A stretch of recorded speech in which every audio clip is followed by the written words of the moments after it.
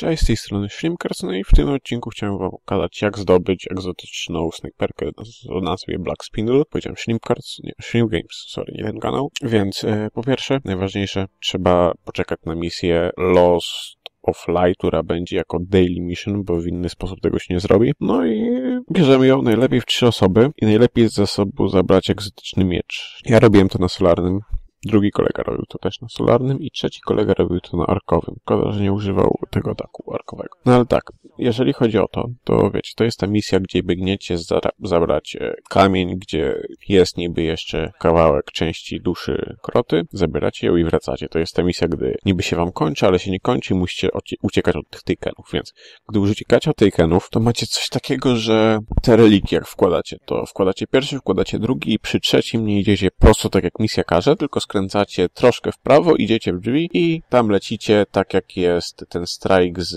takim falenowym bossem na końcu. Tam Tanox, czy jakoś on tak się nazywa, nie pamiętam dokładnie. No ale robicie to i macie, gdy już wejdziecie tam na górę, tym teleportem się przeniesiecie i wyjdziecie przez drzwi, pojawią się pierwsi Takeni. Macie 7 minut na zabicie wszystkich Takenów. Więc po pierwsze bijecie wszystkie blind, czy te czarne kule, bo przez nie pojawia się wam więcej przeciwników, a wy chcecie jak najszybciej to zrobić, więc najpierw bijecie blindy. Jeżeli przy tych blindach stoją jakieś wiedźmy, bijecie wiedźmy. Przedostatnie bijecie knighty, centuriony, te takie, co kulami strzelają, ci z tarczami, ci z żółtymi życiami ogólnie. A na końcu same mopki. Na tych żółtymi życiami używacie miecza egzotycznego, tym najmocniejszym atakiem, dlatego najlepiej solarowy. Pach, za jednym hitem zabijacie tego z żółtym życiem, następnie zabijacie resztę, a na blindy używacie snajperek. Gdy dojdziecie już do ostatniego pokoju, będą bodajże 3 czy 4 fale blindów i najpierw bijecie blindy, potem ładujecie. Ogólnie to wszystko będzie na filmiku. Więc jeżeli chcecie zobaczyć, jak my to zrobiliśmy, no to zapraszam do kolejnej części